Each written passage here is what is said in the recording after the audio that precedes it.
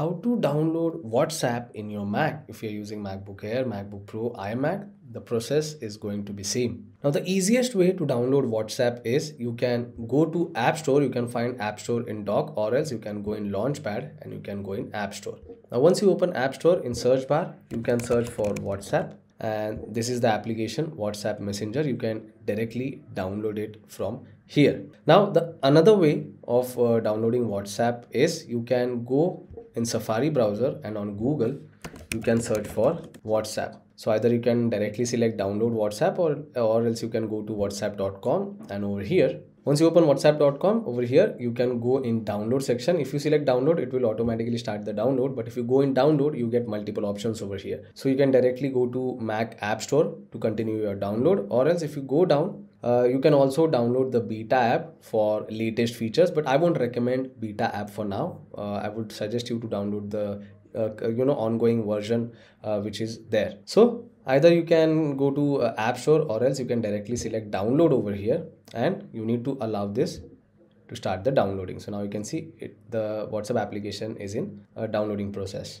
now once the download is complete either you can select download option directly from here and you can go to the uh, downloaded file or else you can go and select finder. And then in download section you will find that dmg files we are dmg file which we have just downloaded so double tap on the file to install it. Now all you need to do is if you get a page like this you need to uh, you know drag this whatsapp icon to application. So click and hold the icon and drag it to application like this. And once you do that after that it will ask you to enter the administration password. So if you are already on the admin account then it uh, it will only ask you to enter the password sometimes. But if you are using some other user account then it will ask you to enter username password and then simply select ok. Now once you enter the password details select ok. And now you can see the installation is in process. And once the installation is done you can find that application in your launchpad. So if you go in launchpad so this is the application which we have installed just now now one more thing if you uh, download application uh, from app store it will uh, directly install itself. So you don't have to follow the installation process.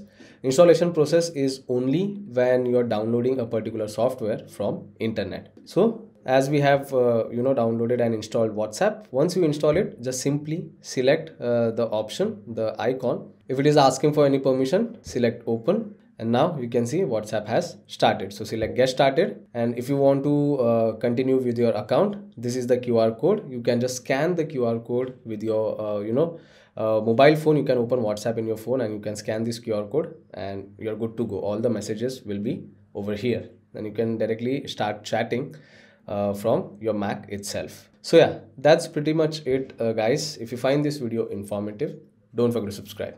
I will see you all in the next one. Thank you